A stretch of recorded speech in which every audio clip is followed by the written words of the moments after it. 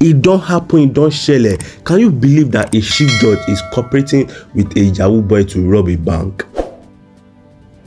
My people just you see the video i'm about to play for you today eh, is going to surprise you because because the every single thing you know i've been saying that the people that are supposed to be protecting us that are supposed to be defending us uh, the the lawyers the chief judge that are supposed to be defending us about um against corruption are the one they are the one collecting bribe. They are the one in charge of the corruption themselves.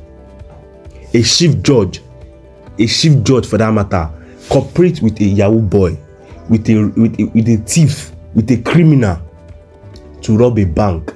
And they did it successfully but they were caught. Just stay connected to the very end of this video because i'm about to play you something that will blow your mind off. Hey people stay connected. Share this video to that social media platform. I'll be back see you soon Welcome back to Lajupog TV show. The home of crime scene, is happening in the street again. the center of political news, celebrity gossip, religious gossip, and happiness in the society. Join us, the voice of Africa. Hello my great wonderful viewers. Welcome you back to live positive show. If you are new to this show don't forget to click the subscribe button the like button the bell beside it and also drop your comment in the comment section about what is going on in nigeria about what is going on in africa and especially what is going on in nigerian politics so that it will be notify you anytime we drop any that video into the channel. Do you know that since the chief judge of supreme court have done the greatest corruption in nigeria you know a lot of bad bad things have now been done by lawyers by judges. You know but this this particular thing i'm about to play for you is like really really shocking. Like i didn't believe that this can ever happen in nigeria. I can never believe that. Because but since the day that the chief judge pronounced a criminal a crook criminal number one federal criminal that even the, the uh, FBI, every every single corporate, uh, CIA, they have they, they they are after the person since the day that uh, Supreme Court declared the person as the president of Nigeria. That's the day that I know that we are done for in this country. We are totally done for in this country. Can you believe a chief judge should be should be cooperating with a criminal with a with, with a robber just to plan to rob a bank. Is is that how is that how corruption has gotten to the roots of nigeria? And we just stay connected to the very end of this video share this video because this is gonna be very very very funny to you. And people i'll be back. See you soon. This judge took the judicial corruption to a whole new level never seen before in Nigeria. Then again, nothing is impossible in Nigeria. The sacked judge, Injustice S.O. Falola, connived with the Yahoo boys in an elaborate fraudulent scheme to literally rob a bank. Yes, you heard that right. For those who are not familiar with the slang, Yahoo boys, it's a Nigerian way of saying scammers. How did it happen? Let's start from the beginning. We will group all the people according to their group. Four people belonging to the group of scammers, namely Hamzat Oladimeji, Rafiu Oladimeji, Kadre Latif, and Gabriel Omeka. On the other side, it is the injustice Falola and the lawyer to the scammers plus all the other people involved that did not receive a huge share from the stolen money. Gabriel Omeka has a dollar denominated domiciliary account with Polaris Bank. It's not clear if he got outside help or the three other scammers helped him to hack the bank to inflate his bank account balance from $23 to $1.2 million. What the hackers forgot to do was to make deposit entries into the account that will make it look real. After the bank recovered from the security breach, they didn't notice the inflated account balance until they were served with a court order. The court order was granted by Injustice Falola of Osun State High Court. Before he granted the order, the trial of Hamzat Oladimeji, Rafi Oladimeji, Kadre Latif had approached his court with a fake court injunction from Kwara State High Court. No court granted the injunction, but the claims contained in it says that Gabriel Omeka the one that owns the inflated DOM account is owing them 283 million naira, being money from a business deal involving one company. So they presented it like they had a business deal with Gabriel and it went south. They went to court in Kwara State. A court granted an injunction in their favor. So they came to Osun State High Court, the court of injustice Falola, to enforce the judgment in Osun State. Normally, before this kind of thing can happen, the law requires that the judgment must be registered in the state. They didn't do that. They claimed they registered it with fake documents. The court order or motion ex parte that Injustice Falola issued mandated the bank to show cause why an order of the court should not be made against them over the payment of 283 million naira that their customer is owing the three other guys. Upon receiving this, the bank made all efforts to prove to the court that their customer's balance was $23 before the security breach they had and how no evidence of any deposit from the customer exists. In fact, the bank tendered an acknowledgement letter from the Deputy Commissioner of Police at the Special Fraud Unit, Ikoyi, where they lodged a complaint at the time the breach occurred. They requested the police to investigate fraudulent withdrawals by some of their customers at the time. The police arrested some of their customers and verified that there was a security breach. The letter reads in part 1 there was a system breach between 2nd and 3rd of December 2018. 2. That the account holders' accounts were fraudulently increased into millions. 3. That the account holders made attempt to withdraw the money before their arrest. All these fell on deaf ears. Their customer maintained in court that he transferred the money to his account before the security breach, while the bank insisted that they couldn't find any evidence of transfer or deposit to his account. That the security breach was done to reflect the amount. Injustice Falola ruled in favor of Gabriel Omeka based on the fact that he produced evidence of the transfer of the funds.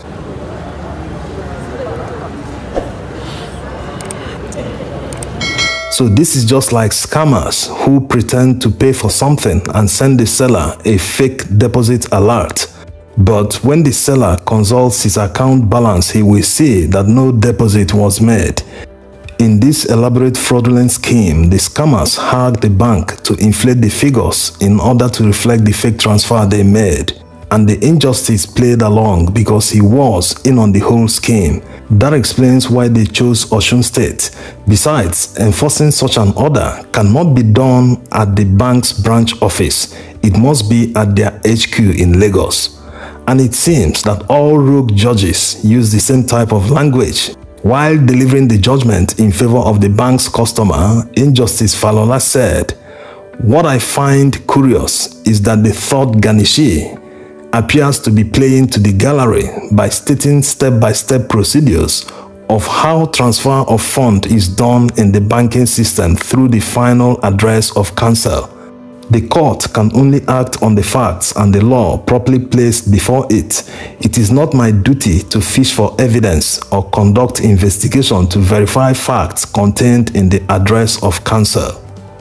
This is reminiscent of the presidential election petition judgment delivered by one of the lady justices who asked the petitioners if they expected her to go to the market to shop for evidence on their behalf, despite the massive evidence they tendered. In the case of Injustice Falola, the bank proved to the court, even with police report, that their customer never made a deposit but still, because he was part of the elaborate fraudulent scheme, he played his role in the fraudulent scheme. The injustice ordered the bank to pay 283 million naira to Latif, Kadri, and the third guy from the non-existent money held in the account of their customer. The money will be payment of the debt that their customer was owing the three guys. Mind you, the judgment is based on a fake unregistered judgment from Kwara State. The injustice gave the bank three working days to comply with the order.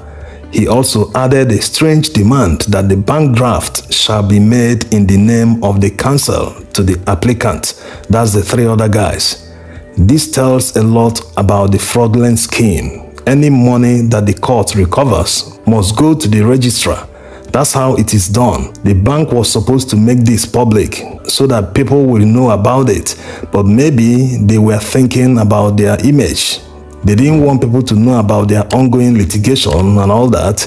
They ended up playing into their hands. There was a reason they chose Osun State to execute this elaborate scheme. Anyway, the judgment was delivered on a Friday and the bank filed an appeal on the following Tuesday and they served the appeal at the High Court Judicial Division. This means they are still within the compliance period. It hasn't expired. In fact, there's still one day left, but the unthinkable happened. Injustice Falola signed a warrant of execution of the garnishee order he made the same Tuesday before the expiry of the compliance period. In other words, he gave the bank three days to comply. He didn't even allow two days to pass. He signed a warrant of execution which they levied on two branches of the bank in Osogbo.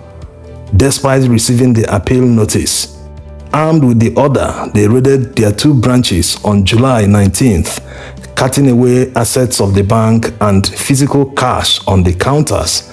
On July 22nd, they raided two more branches in Osun State. All the raids they made, they didn't itemize what they seized from the bank. While office desks, computers, and other items were recorded at the Chief Registrar's office, all the money they took from the banking hall and ATM machines were never recorded. In all the rates, they stole a total of 16.4 million naira from the bank. That's according to the bank's estimate, not counting their furniture, electronics, and other stuff that they carted away, including vandalized ones. A month after, in August, the appeal court set aside the order of injustice Falola. Now, the bank became determined to escalate the situation and expose the injustice. A new lawyer took charge and he investigated the fraudulent scheme and he discovered that there was no court order from Kwara State in the first place. His investigation opened many can of worms, so he demanded to see Injustice Falola. The Injustice obliged him and told him that he will come to his Lagos office. He came on the appointed date, he was caught on CCTV, he begged the lawyer that he will run around and pay back the 16.4 million naira. He also revealed that one of the judicial workers that took part in the fraudulent scheme just bought a new car. He admitted that he was aware that the whole thing was a scam, that his registrar and other officers played 419 on him in order to make money. He prostrated to the lawyer, begging him not to report him to the National Judicial Council, not to damage his career, a career that he himself already damaged by conniving with scammers to rob a bank. On the day he was supposed to pay back the money as he promised, a notice of appeal and motion of stay of execution were filed against the appeal the bank won. The injustice was contacted by the bank's lawyer. He reneged on his promise and said that he will wait for the outcome of the appeal. To cut the whole story short, the bank's lawyer took all the evidence he gathered from his investigation and petitioned the NJC. The NJC delivered their verdict over the weekend. They recommended that Injustice S.O. Falola should be sacked. Some people are very shameless. Is it a must to be a judge? Imagine having a case in front of this one. You stand no chance despite being innocent. If one thinks he's not earning enough, why not change career instead of disgracing himself and his family and the entire country at large? This corruption, they've taken it to the national level, from bottom to top, up to the Supreme Court. It's also a shame that it took the NJC this long to recommend the sack of a rogue judge. Imagine all the lives his decisions affected all the years he practiced. The whole system needs a serious overhaul. Thank you for staying connected to the very end of this video, my great and wonderful viewers. You know, I was thinking that what could lead this man, this judge, to do this kind of abomination? Because I was, you know, it came to my memory, memories that, and I noticed that if the Supreme Court did not do that great corruption, it, it, they will, these other judges will never will never do this kind of thing. You know, since when the Supreme Court has done this, um, declared Bola Ahmed Tinubu as the uh, uh, as the president of Nigeria, others have now been doing nonsense. They have been doing things against the constitution. They have been creating their own, you know, they have been creating their own constitution for themselves. See what happened in in in, um, in Kogi State. See what happened in Imo State. See every single thing that has been happening. But what would we say? Nothing, because the president, the, the, the, the president, the leader of the country is a criminal himself, and he, he was he was saying that we should not be we should not work against the progress of nigeria when you yourself are the one that is declining the progress of nigeria you know i do I, I'm, I'm i'm always i'm always ashamed of these politicians. Anytime i hear the amount of money they want to spend on something on something that is not even necessary that is not even important they will say they want to spend billions of money billions of money on something that doesn't even make sense. The only thing that Bola Ahmed Tinubu said he want to do that he want to add he want to he want to do five billion he want to give five billion to to students 5 billion naira to students. He has not done it till now. He has not done it till now. So my people i just i just wonder what is the major problem of this country? What are we what should we do to to to eradicate this this these corrupt leaders these corrupt judges away away from nigeria so my is the only thing we can do is to come out and challenge them. If we don't challenge them it it, it will continue to happen. It will continue to go like that for generation to generation. Nobody will stop them. Nobody will stop them. It will continue to go for generations to generations. And our children children will continue to suffer. Because we the masses are the ones suffering this problem. It's not the politicians it's not the rich it's we the the masses we the citizens that are doing the work day and day by night. We are that, that, that are dropping that, that, that we are the one paying taxes we are the one doing every single thing. We are the one suffering the consequences. Not them.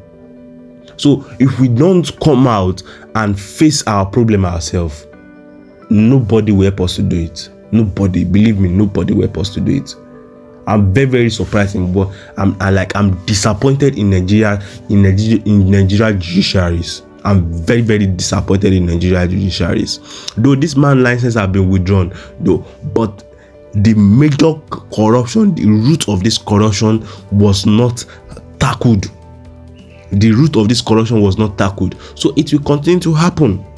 My people always stay connected to Ladipo TV show and don't forget to click this video click the subscribe button the like button the bell beside it. And don't forget share this video to other social media platforms so that everybody will see everybody will know the root of corruption in this country. It is the supreme court the supreme court are the root of the corruption in this country because if they are not if, if they are not there to support us if they are not there to fight our battles for us who will do it for us? Who will? Nobody nobody will fight our battles for us. They are there to to help us to challenge these people to challenge these wicked people away from them. But they are, they are the ones supporting the wicked people. My people always stay connected to Ladipo TV show don't forget click the subscribe button the like button the bell beside it and also drop your comments in the comment section about what has just been said in this video. See you in my next video. God bless you and god bless nigeria. Don't forget keep a positive mind Thank you for staying connected and like what TV show. Leave the messenger for you, let us know and impact you.